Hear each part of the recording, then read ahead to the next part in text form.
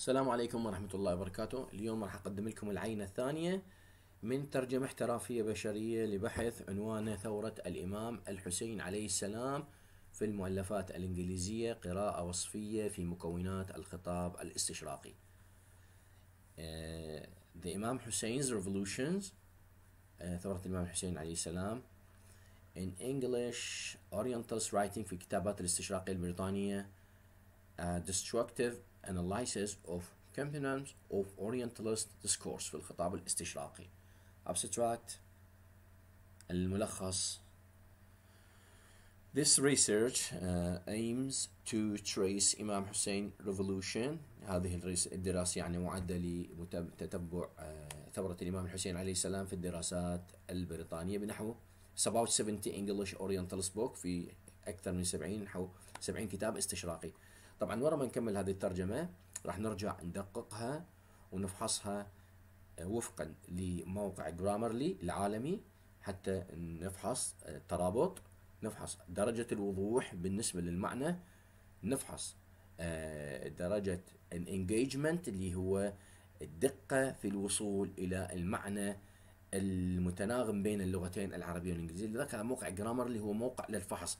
نعتمد عليه في يعني الفحص النهائي للترجمة مالتنا. ماشي؟ لأن هو مصمم حتى يعني ينطي صورة مثالية للترجمة لكن كيف نصل إلى الصورة المثالية؟ إلا عن طريق الترجمة البشرية لا غنى عن الترجمة البشرية. باستخدام الترجمة البشرية فقط لأن الترجمه الإلكترونية حقيقة مثل ما وضحنا بالفيديو السابق بانه باخطاء كثيرة ما تعطينا المعنى الدقيق الترجمه حرفيا تبتعد عن المصطلحات تبتعد عن المصطلحات الشائعة وهكذا. مثل ما تشوفون. عملية الترجمة إن شاء الله راح تتم. آه تدقيقها. مع مراعاة الجانب النحوي والقواعدي والأزمنة والصفات وعلامات التنقيط إضافة إلى آه البوادئ واللواحق مع مراعاة نقطة مهمة جدا قضية الاستلال يعني الكلمات اللي نستخدم المرادفات.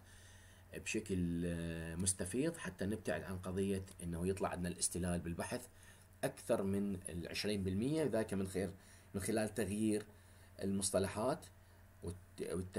يعني والتنويع بمسألة المرادفات قدر المستطاع. شوفوا طلع عندنا great job هذا فحص النهائي. الامام حسين revolution is ال correction مثل ما تشوفون النسبة عندنا ال correction صح. ال clarity الوضوح ال engagement الترابط أضافة إلى النحويات نسبة 100% نسبة الإنجاز. اللي يحب أي مساعدة بشرية ترجمة بشرية تواصل ويانا وإن شاء الله ما نقصر وياه. السلام عليكم ورحمة الله وبركاته.